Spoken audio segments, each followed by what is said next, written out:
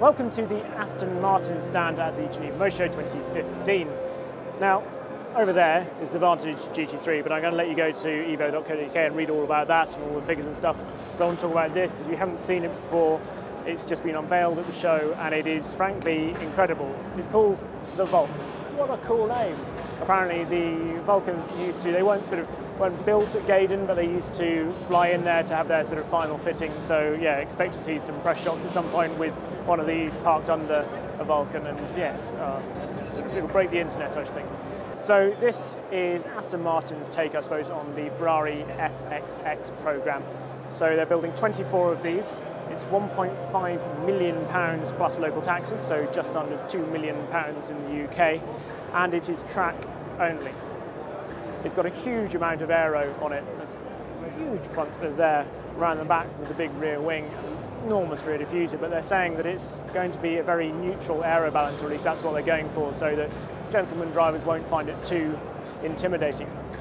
How you could not find it intimidating when it has a 7 litre naturally aspirated V12 underneath the bonnet. They're looking for 800 brake horsepower, they're saying it's probably going to be about 850 brake horsepower in the end, which is frankly phenomenal, 1350 kilos, so it's not exactly pushing around a great deal either.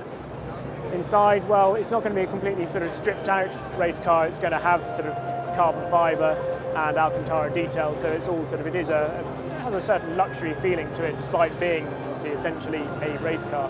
There's going to be a program with Darren Turner, so you can go into his simulator uh, and then sort of build your way up through sort of V12 Vantage uh, GTE. They reckon this will lap Le Mans faster than their GTE car, which is pretty incredible, I think you'll agree.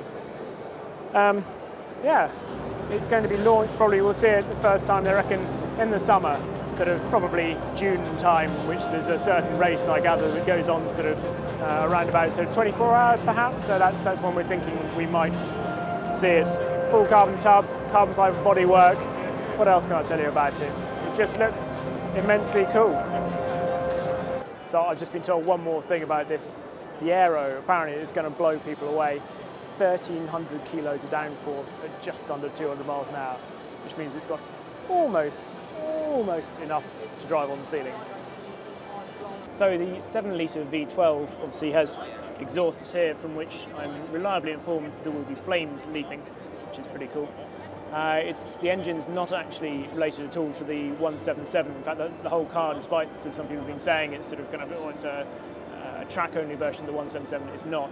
The carbon tub and carbon body panels and the engine are all really completely different. Perhaps the, the lower part of the tub is related to the One-77, but apart from that, um, it is entirely new. The engine has been developed by Aston Martin Racing as well.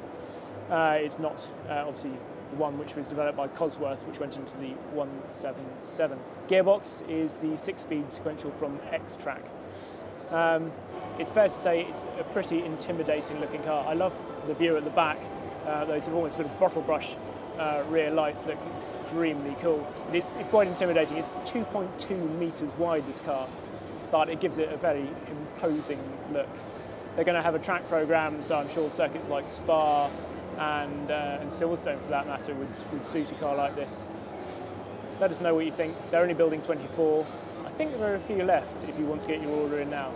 Let us know, leave comments on the boxes below on YouTube and go to Facebook and Twitter and all that sort of thing. And remember to go for the EVO website to find out more about the GT3 as well.